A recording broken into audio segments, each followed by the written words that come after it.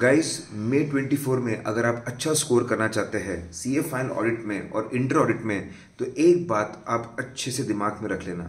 जो नया मॉड्यूल है फाइनल और इंटर का, दोनों में काफ़ी सारे क्वेश्चन है। Lot of question are there test your understanding और टेस्ट योर नॉलेज ये सबसे सबसे ज़्यादा इंपॉर्टेंट रहने वाले हैं।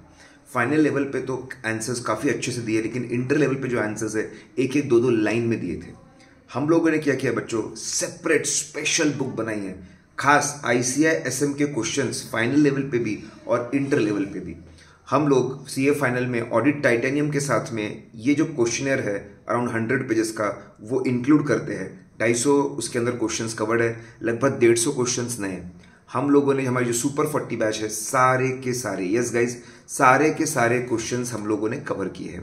इंटर में भी अगर मैं बात करूँ तो ये क्वेश्चन अभी पब्लिकली सेल अवेलेबल नहीं है।